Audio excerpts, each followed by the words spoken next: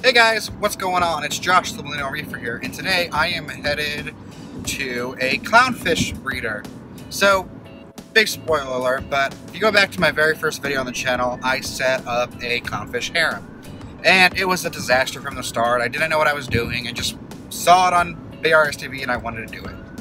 So, that being said, I'm going to be setting up my very own clownfish harem all over again. But, I'm kind of going to start at the basics. So today, I found a local breeder here in the Kansas City area, and I am gonna go see his setup, and he's gonna show me his clownfish. I think it's awesome, so we'll go check out his setup, and I will leave a description to his Facebook page below if you want to check him out. Um, and order some clownfish. And if you're in the Kansas City area, and you're looking for a bunch of clowns or whatever, hit him up. And let's go check it out.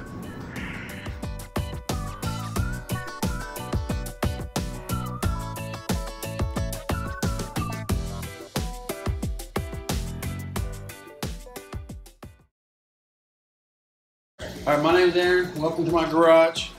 Here's my clownfish. These are just some regular ocellaris here. Some You told me a story about these guys?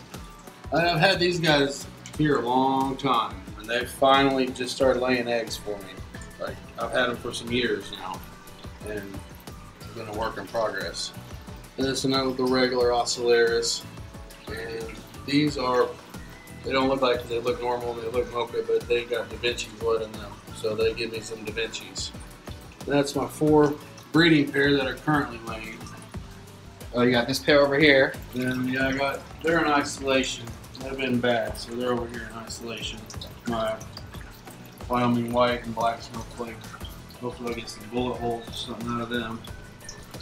And then over here is my little grow out system. A 40 gallon on the bottom, three 10 gallons on a little drip system. And they're about a month apart. These are part Da Vinci. And we can get in there and see some of the, few of them got stripes. And then these two are just the regular, they're all a month apart.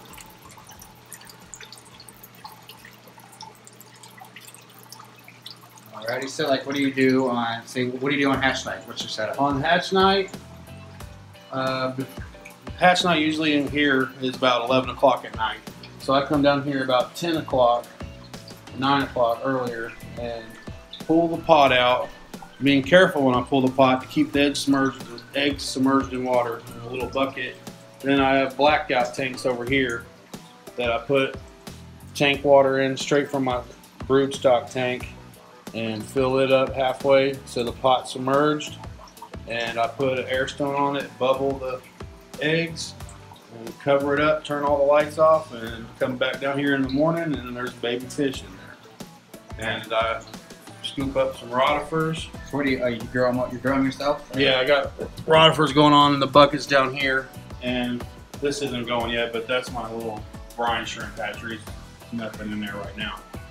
And add the rotifers and keep the lights on dim. I got a what you all know what you call it, diffuser on there, so it's not bright light and blind them because you will blind the babies.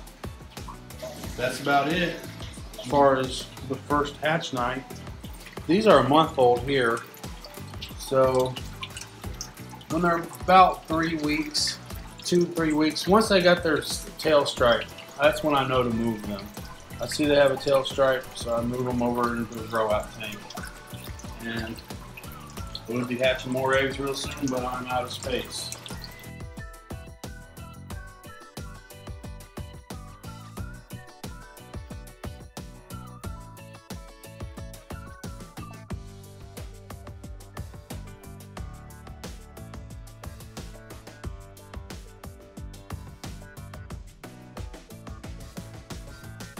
So I'm Josh, and we got Aaron, Aaron. We want to thank you guys so much thanks for watching. stopping by. Yeah, we liked it. It was a nice little setup.